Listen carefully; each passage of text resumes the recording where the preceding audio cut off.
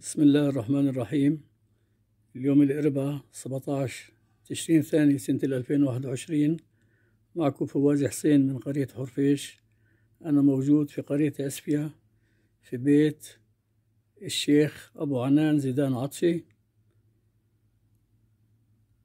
العم أبو عنان إنسان غني عن التعريف أما بدي أحكي بعض الأشياء الأساسية الشيخ أبو عنان من مواليد سنة 1940 بالمناسبة بنتمنى له العمر الطويل والصحة. وهو إنسان نقدر نقول عنه نادر يعني لأنه من أوائل اللي تعلموا في الأقلية العربية في بلادنا. تعلم في الثانوية في المدرسة الإكليريكية في الناصري بعديها في سنة 1965 التحق في الجامعة للقب الأول في اللغة العربية والعلوم السياسية. بعديها استمر للقب الثاني في الجامعة العبرية في العلوم السياسية وبدأ يشتغل في الوسط الدرزي كمركز للشبيبة وأقام فروع نقدر نقول في كل القرى وبدأ يشتغل كمان في التلفزيون الإسرائيلي كصحفي مراسل من الأوائل في هذا المضمار. عم عنان سيرته طويلة وإنجازاته كثيرة. في سنة 1972 عين قنصل في الولايات المتحدة الأمريكية. نقدر نقول أول قنصل من الوسط العربي من الأقلية العربية. وبنفس الوقت كمان اشتغل كدبلوماسي في هيئة الأمم المتحدة ومثل الأقلية العربية والطائفة المعروفية ودولة إسرائيل على أكمل وجه. بعد ما رجع من برا في ظروف سياسية في سنة 1977 دخل في المعترك السياسي المحلي ودخل الكنيسة الإسرائيلي كعضو برلمان لدورتين وكان في له كثير نشاطات ومداولات في الكنيسة الإسرائيلي في كل ما يخص الأوضاع الاجتماعية والسياسية للعرب والطائفة المعروفية بالإضافة للصراع مداخلات بما يخص الصراع العربي الإسرائيلي. أه بديش أطول يعني في الحكي أما اليوم رايحين نعمل معه مقابلة قيمة كثير. بدي أسأله عن شغلتين. الشغلة الأولى دوره البارز اللي كان في لجنة متابعة قضايا دروز لبنان بالثمانينات. مساء الخير عمي أبو عنان. بعد مرة شكرا لك على استضافتي استضافتي. والسؤال الأول بدي تحكي لي عن الظروف اللي هيأت هيأت لإقامة لجنة المتابعة في ثمانينات القرن الماضي بما يخص الدروز في لبنان. تفضل. أول شيء أهلا وسهلا فيك وشكرا على الفكرة. وهاي إثراء للأجيال القادمة إن شاء الله. نعم. إذا شاهدوها وشافوها وعرفوا عنا الأشياء اللي حبوها واللي بدهم إياها. نعم. الحقيقة أنا من دراساتي للأقليات وهذا الإشي اللي اختصيت فيه أنا دائما من دراساتي للأقليات فهمت هي كانت الوظيفة تبعتك بالنسبة للقب الثاني. أي نعم. أي نعم. أي نعم. فهمت إنه لا يمكن لإنسان أن يقود أو أن يترأس أي مجموعة بصورة فردية وينجح فيها من ناحية الدولة اللي هو عايش فيها أو من ناحية الدول الأخرى. نعم. هذا كان مبدأ عني لا لا- يعني إنه إذا ما كانتش مجموعة وما كانش هيئات أو مؤسسات لأنه الأغ- الأغلبية دائما بتحبش المأسسة للأقليات. أها. بحبون يضلوا مفرفطين لأنه بضلوا ضعاف. نعم.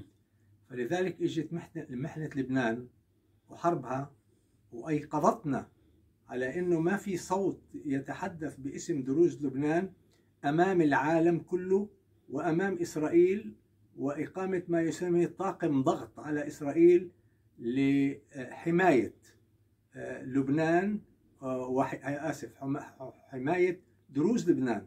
نعم. وعدم التعرض لهم في آه، المعادلة السياسية في الظروف الحالكة اللي كانت في السبعينات. آه، بيومتها معلش يعني حكومة إسرائيل عملت صداقة علاقة مميزة مع الموارنة في لبنان وربما بالنسبة لدروز يعني كانوا على الهامش. وجود وجود عشان هيك أنا عم بقول وإسا إسا بتذكرني أنت في الجملة الأولى. نعم. يعني قديش استصرخنا كأفراد. نعم. ولكن ما فادنا الأمر. اجتمعنا عدد من الشباب آه، المحترمين. بقدرش إذا خايف آه، آه، أغلط في أو أنقص اسم وهذا بصير عتب علي. أما الحرفيش كان في مساهمة. فيش كان حضرتك فواز حسين وكان الأخ كامل شرف وكان الشيخ أبو علي مهنا نعم. فارس وطبعا آخرين. ولكن أي نعم. إحنا لا نذكر الأسماء من كل القرى لأنه ما نقدرش نحصاها. صح. كأنه في تكوين أو تأليف هذه اللجنة اللي سماها لجنة المتابعة الدرزية من أجل سؤول لبنان ودروز لبنان كأنه الناس كانت متعطشة إن كان في اسفيا وفي سائر القرى الدرزية في إسرائيل نعم. متعطشة لإقامة هيئة تدير الأزمات الدرزية والمصالح الدرزية في إسرائيل. أي نعم. لأنه الأكثرية اليهودية كانت تعتمد على المخاتير وعلى رؤساء مجالس وعلى عضو كنيسة هذا أو ذاك وكله محترم وكله ابن حلال ولكن بدون تنظيم.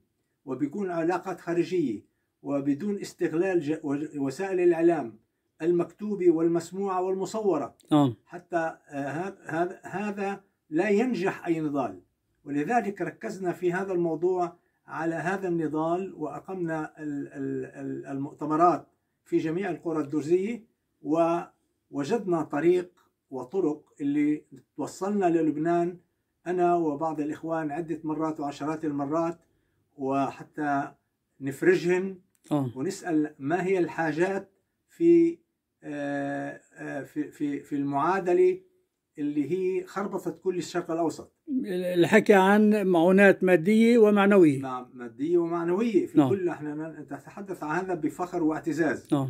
يعني إحنا كنا نشتري سلاح ونشتري بدلات عسكرية ونشتري بلا مؤاخذة آه، أحذية عسكرية نعم. وذخيرة عسكرية من لبنان وفي داخل لبنان ومن إسرائيل ونوديها لهناك لبنان للدفاع عن عن عن كرامتهن كيان. وعن كيانهن وعن وجودهن وعن آه، عرضهن وأرضهن أنا بذكر عمي أبو عنان واحدة من الفعاليات اللي كانت المظاهرة اللي يعني قمنا فيها أمام الكريا في تل أبيب وأمام أي نعم. السفارة الأمريكية في تل أبيب بنفس اليوم. أي نعم. نعم. أي نعم. هاي دائما يعني إحنا وكان واجب علينا أن نيقظ الرأي العام. مضبوط إنه هنالك في أقلية اللي عليها مؤامرة. صح. مؤامرة سياسية بين بين الحكومات الإسرائيلية المتعاقبة وبين ال- السياسة اللبنانية. إحنا ما دخلنا في السياسة اللبنانية. إحنا دخلنا في في في ضمان وجود الدروز على أرضهن وعلى أرضهن وس- وحماية أرضهن واستقلاليتهن اللي هن في الأصل مؤسسي لبنان الحديث. ابدا. ففي هاي الطريقة استمرنا أنا أنا أنا بقدر أقول لحد اليوم نعم لأنه في علاقات من هذاك الوقت لحد اليوم تربطنا مع إخواننا في لبنان إن كان عن طريقه ال- التواصل الاجتماعي ولا ال- الهواتف وال, وال يعني كيف يقولوا ال- الأجهزة الإلكترونية ما خلتش شيء ما نتصلش معهم. صح.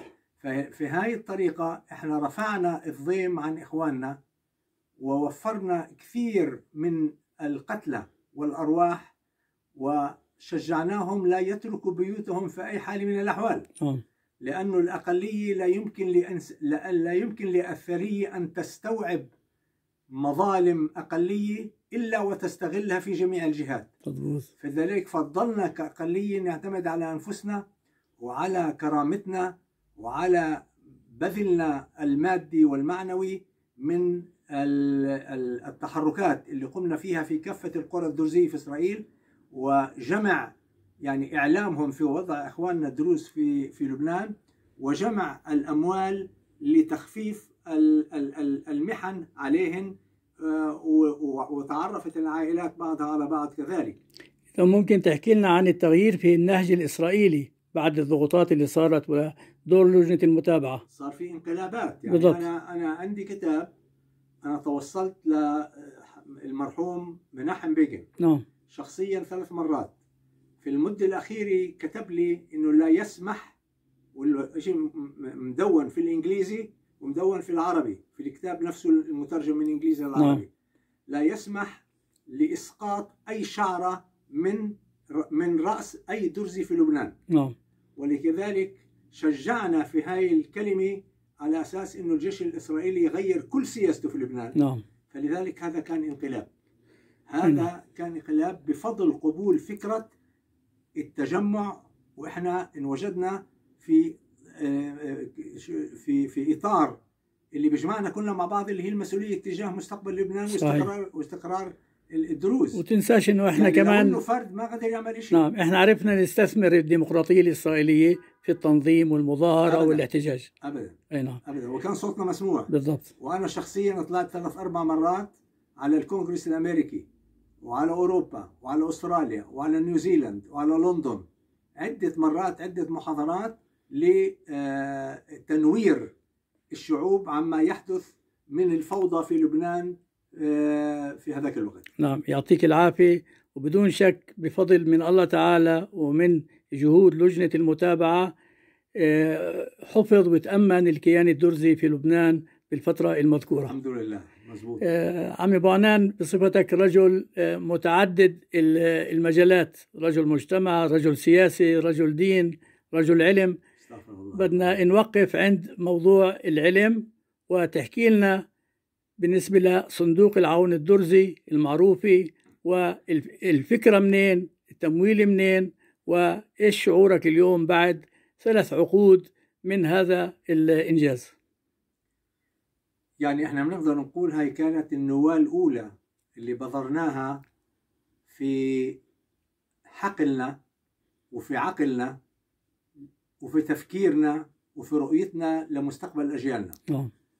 لما أنا فتت على الكنيسة آه، في الثمانينات في السبعينات بس في الثمانينات جتني فكرة إقامة الصندوق لدعم التعليم للفتيات والشباب الدروز نعم. في إسرائيل. ولذلك ما كان في عندنا ليش؟ لأنه ما في عندنا مهندسين كافي نسبة للطوائف الأخرى. صحيح. لأن مكونات المجتمع الإسرائيلي كنا إحنا تقريبا نقارب 1% من انجازاتهم هن نعم. فلذلك أطباء مهندسين هند- هندسائيين آه، في جميع المجالات العلميه مهندس كيمياء مهندس فيزيكا مهندس اللي بدك إياه نعم. بس روح تعلم أيوه. فلذلك كانت موضوع النقص المادي اللي موجود في تمويل التعليم أيوه. فإجتني فكرة وطلعت على أمريكا لمؤسسة آه، يهودية آه، تقوم بإعطاء الحسنات آه والدعم لجميع اليهود في العالم آه. أنا بسبب كوني قنصل تعرفت لما كنت قنصل على هاي المؤسسة آه. وعلى رئيسها ولما حكت له آه، الحاجة لإقامة مؤسسة تضمن تعليم المؤهلين والبارزين للتعليم في المستقبل الدروس في إسرائيل نعم. ولكن النقص المادي حاج بيكون حاجز عائق. حاجب صح فلذلك قال لي إحنا مستعدين الشخص هذا رئيس ال- ال- الصندوق الأمريكي إحنا مستعدين نكون شركاء في تمويل وتشجيع التعليم عند الدروز في المواضيع التقنية. أي نعم. وفي أذكر أنا في سنة ال 1986 عملنا الاجتماع الأول في عكا وكان هناك سخاء غير شكل من قبل المشاركين وكنا بس حوالي 30 واحد. أها. فلذلك أقمنا الصندوق وما زال الصندوق الأمريكي وأينما كان كنا وسجلناها كجمعية مسجلة في مسجل الجمعيات الرسمية آه، آه، في إسرائيل آه على أساس أنه نكون منظمين لغاية مع كل المؤسسات ومع كل الهيئات إن كان سكرتارية أو رئاسي أو مراقبة أو يعني تقريبا كم طالب وطالبة من أبناء الطائفة المعروفية حصلوا على هاي المنح بهاي الفترة أنا بقول لك صعب صعب أعد يعني آه. ولا مرة عديت صح. أما إحنا آه، الحكي عن آلاف عم نشتغل إذا سنة ال 85 اليوم 15 هاي 15 لآخرها وإسا عندك آه، 21 آه. معناها إحنا صرنا 36 36 سنة. 36 سنة. بدك تعمل معدلك إنه كل سنة إحنا كنا نوزع المعدل. نعم. لأنه في امرار نوزع 300 منحه آه. أو 200 ملحة أو آه، 100 ملحة. مم. فلذلك الم- المعدل العام كان يكفي للطلاب تشجيع يفوتوا على الجامعة. يعني نسبة كبيرة من الخريجين ومن اللي بيتعلموا اليوم حصلوا على هاي المنحة. أنا لما اقمنا الصندوق كان في عندنا بس ثلاث شباب في التخنيون. أها. اليوم اليوم صح. في عندنا أكثر من 180 شاب في شاب وشابة في التخنيون. مضبوط أيوة. ناهيك عن الجامعات الأخرى زي مثلا براودي. أي نعم. براودي نص دروس هناك من الجليل عمي ابو عنان بعد العمر الطويل. مين بده يرافق إلا الصندوق هذا؟ يعني في هيئة وفي آه. إدارة. عشان هيك شو المشكلة؟ ما هو إذا كنت أنت فرد في أي شيء أيضا ما في لك نهايه صح. إذا انتهيت وما أسست وراك شيء معناها الحلم مات. راح. انتسى ويبس وجف. فلذلك الإدارة في سكرتير وفي أمين صندوق وفي رئيس صندوق اللي آه. هو أنا وفي سكرتارية وفي لجنة لجنة إدارة كله مرتب فاهم عليك فلذلك إن احترام. شاء الله بعد عمر طويل إن كان يعجزنا وإن كان الله أخذ ودعتنا الصندوق بظل مكمل إذا عرفوا الشباب وإن شاء الله بيعرفوا لأنهم مرافقيننا في هذا نعم. المجال وأنا بشكرهم آه، جدا على هذا الإخلاص بدون شك والوفاء. بدون شك الفكرة وحجر الأساس والمجهود الكبير لك الفضل ولك الشكر عليه بتوفيق من الباري تعالى وسيدنا نعم. الإمام يعطيك العافية. شكرا لك. في ن- نهاية اللقاء بدي هيك سؤالين على الماشي مثل ما بقولوا. أول شيء كإنسان آه، رجل متدين رجل مثقف رجل لك باع طويل في العمل الاجتماعي والسياسي شو وصيتك أو شو رسالتك لأبناء الطائفة الدرزية في البلاد؟ الإصرار. الإصرار الإصرار على التعليم الجامعي والأكاديمي في آه، في المجالات التقنية والهندسية واللي بيسموه الهاي تك إي نعم. لأنه إذا ما في يعني إحنا بلا مؤاخذة لما اقمنا الصندوق إحنا كنا قليلين من ناحية المعنوية في المجتمع الإسرائيلي لأنه صحيح. متعلمين. صحيح. فلذلك وجود الصندوق وهذا التعليم وهذا التشجيع وضع الخائط الخارطة الدرزية على مشاكل إسرائيل العامة الداخلية والعامة. إي نعم. فلذلك هذا كان آه، مهم جدا إنه بدون توعية ما في نضال. ما في نضال لأنه في حواجز. فلذلك أول شيء تعلموا يا إخواني ويا أخواتي وال وال وإن شاء الله الصندوق والآخرين وصناديق أخرى. إحنا ما بنقولش بس إحنا آه من يوم ما قمنا الصندوق بعدنا بسنتين عدة صناديق. صحيح صحيح. فلذلك صرنا نتنافس أو نتعاون في المعلومات آه. على الطلاب ونلاقيهم ونعطي هاي ال- المنح الدراسية حتى يقدروا يكملوا دراستهم هاي وحدة ولكن الشيء الثاني للمتعلمين والمتعلمات وللمجتمع بدون نواة بدون تنظيم بدون هيئة مركزة لأي شيء لا تسمعنا العالم كله. أي نعم. يعني أنا بروح على باريس وبلقي محاضرة رجعت من المحاضرة انتهى الأمر. صح. ولكن إذا أنا كنت في باريس أتكلم باسم الطائفة الدرزية والهيئات تبعها معناها كلامي بده يظل مأثر على السامعين. له صدى. ولذا وهذا هذا هاي قصتنا مع الصندوق الأمريكاني اليهودي اللي بعده بدعم الطلاب العلوم